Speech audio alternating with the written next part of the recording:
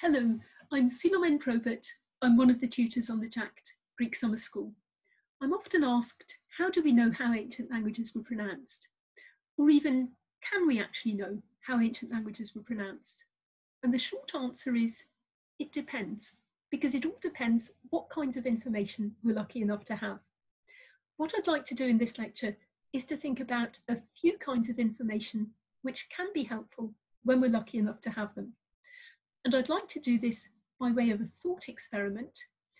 Imagine that we're living 2,000 years in the future. English is an ancient language, and we're interested in how it was pronounced. No recordings have survived because there was a big IT failure in 3031. But some old books and old documents have survived, and some printouts from something called the internet. And we know from those materials that their writing system looked like this. And we can have a rough first guess at the sound values that some of those letters might have had because we're still using some of those letters in writing systems that we're using to write our modern languages today. But the sound values that these letters have when they're used for modern languages can only be a first approximation to the sound values that they might have had in an ancient language but it's good to have a starting point to start thinking. But we'd like to pin down some of the details when we get particularly interested in the name of this English city. It looks like Worcester or Worcester or something like that, but how is this word actually pronounced? Well, one of the documents that survives is a copy of a local paper from the city itself from 2010, and it's got in it a picture of a political campaign poster. It was delivered to every household in the city, and the reason it gets into the paper is that the name of the city is misspelt. It's been spelt with OR instead of ER at the end. It's been misspelt twice on this poster, and that's why we've got this red circle and red line drawing attention to those misspellings. So this candidate gets egg on his face for misspelling the name of the city where he's campaigning for office. Although he says it was the printers who made the mistake and that this kind of thing does happen. Now, that comment that this kind of thing does happen is quite interesting for us because it suggests that the name of the city is genuinely not that easy to spell. And that might be telling us something about the pronunciation. And in particular, it might be telling us something about the pronunciation of this vowel, the one that's been misspelt. Is that being pronounced in a way that makes it not particularly obvious which letter it should be written with. Another copy of the local paper survives from a few years later, and this one's got a story about somebody who apparently mispronounces the name of the city. This is a senior politician being interviewed on the radio, and he apparently mispronounces the name of the city. His spokesperson says, of course, he knows how the word is pronounced. This is just the sort of thing that happens when you're speaking um, live on the radio. The Member of Parliament for Worcester itself says, this is appalling. It's extraordinary, he says, for a party that claims to be interested in the city to be getting this kind of thing wrong. There is a serious side to this. It shows that they continue to be a metropolitan party focused on the big cities rather than places like Worcester. Incidentally, the Member of Parliament who's quoted saying this is the same one who, a few years previously, had the campaign poster with the misspelling. 2,000 years in the future, we're not that interested in the political wrangles of the early 21st century, but what does interest us is that the city name is apparently difficult to spell and also difficult to pronounce because that suggests that the relationship between the spelling and the pronunciation is not at all straightforward. The pronunciation seems to be not a very good guide to the spelling, and the spelling is also not a good guide to the pronunciation. But none of this tells us that much about how the word was actually pronounced. So, looking around for anything that might get us a bit closer, we come across something that appears to be a joke. This is from an American newspaper, this time from a column by someone called Dave Barry. He's writing about England and he says this about a trip to England that he made. Now, we can work out that this is a joke because Dave Barry is a humour columnist. Jokes is what he does. And we can probably work out that it's some sort of joke about how difficult it is to pronounce the names of English cities that have got something like Chester or Cester or something that looks like that in the middle. But we have difficulty getting the details of the joke here because we haven't got quite enough background information. Ideally, we'd already know how all these things are pronounced in order to get the joke that's going on here. And that's quite a common problem with ancient jokes. We also find a poem, and we know that this is a limerick because we know that it was an entry to a limerick contest. And this is interesting because we know the rules for constructing limericks. We know that something at the end of the first line should rhyme with something at the end of the second line and with something at the end of the last line. And that suggests that the city name might rhyme with the word rooster. We've got to be a bit careful because we know that rhymes are not always perfect in limericks, but the city name rhymes with rooster or almost rhymes with rooster and it ought to rhyme with this as well. Now, this is a creative spelling of the phrase used to.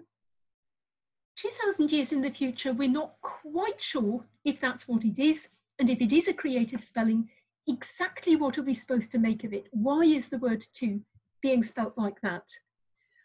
Or is it just a typing mistake? Did somebody just mistype the word at the end? There's a bit of debate about that going on, but Either way, it's interesting that this city name and the word rooster are being rhymed with the phrase used to at all, because that might tell us something about the pronunciation of one or another of these expressions. In fact, it might possibly give us a hint that the R at the end of the city name and the R at the end of rooster are not being pronounced, or that at least some English speakers are not pronouncing that letter R. We also find some more serious publications that give us some hints, we find a Greek publication in which the name of the city is spelt both in the Roman alphabet and then transcribed into the Greek alphabet. The research we've been doing on the pronunciation of the Greek language of the 21st century suggests that this is something like Huster, Huster.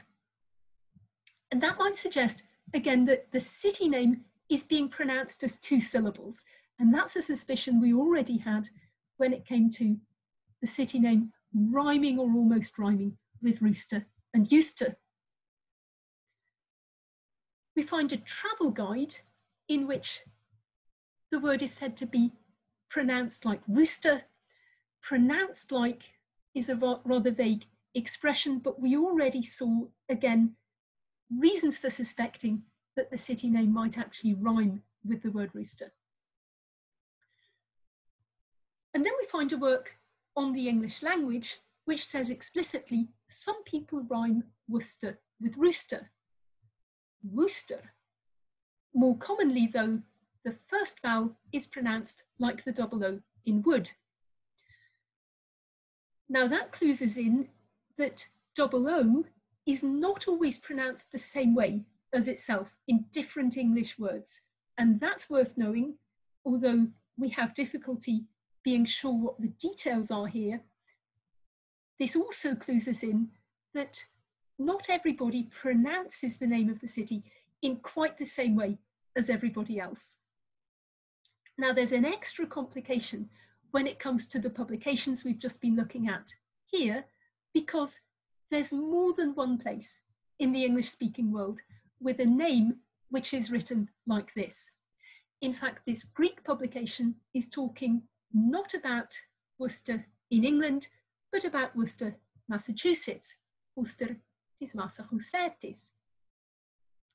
The travel guide is talking about another Worcester in North America, Worcester in Maryland, and the work on the English language is talking about Worcester in England, but it's talking specifically about the pronunciation of that word in Canadian English. There's no guarantee that the word was pronounced the same way when it stood for different cities. And this publication clues us in that there's no guarantee that every English speaker pronounced the word in the same way, even when they were talking about the same city. We can't pin down all of those details with the evidence that we've got, but what we've been able to do is establish that the city name was pronounced something like Worcester or Worcester. It was two syllables and this last vowel was pronounced in some sort of indistinct way and the R at the end was probably left off in pronunciation by at least some English speakers. So coming back to our original question, can we know how an ancient language was pronounced? The answer, I think, in this case has to be yes, within limits. Within limits, we can know how this ancient language was pronounced by putting together clues from a number of different sources. Clues from the spelling, and spelling mistakes can be particularly valuable. Jokes, parodies, and attacks, which have something to do with the pronunciation of the word.